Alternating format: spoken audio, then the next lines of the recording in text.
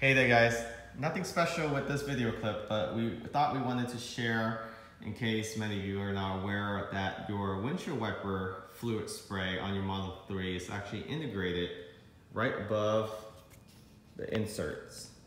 So in many vehicles that I own in the past, the sprayer are either located right above the hood um, on the passenger and driver side or underneath the hood. Partly do I see a vehicle that has a windshield fluid sprayer integrated with the wipers unless it's a higher end car uh, such as higher end uh, within the Mercedes or BMW lineup. But even my last vehicle, which was a higher end vehicle, but it had windshield wiper sprayer right underneath the, the hood here. So let me go inside and show you how it looks like.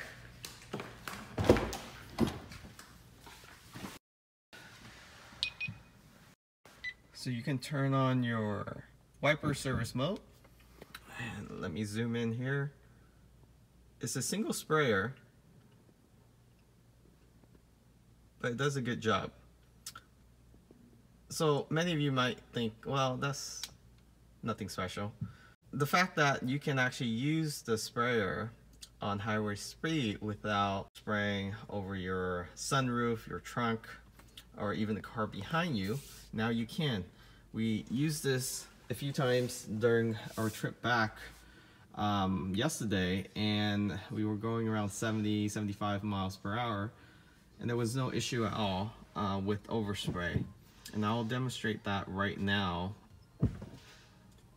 So in order to activate your windshield wiper sprayer, you have a left stock from your steering wheel.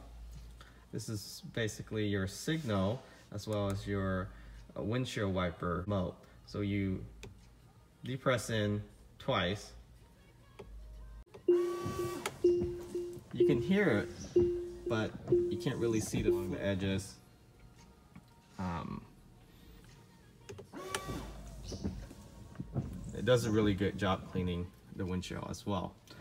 It doesn't waste too much windshield fluid and you don't get the overspray you normally do on most vehicle.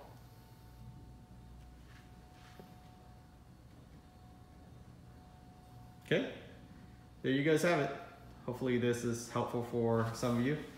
And if you don't care for it, then um, we just thought it's pretty cool that the Model 3 actually comes with this uh, capability.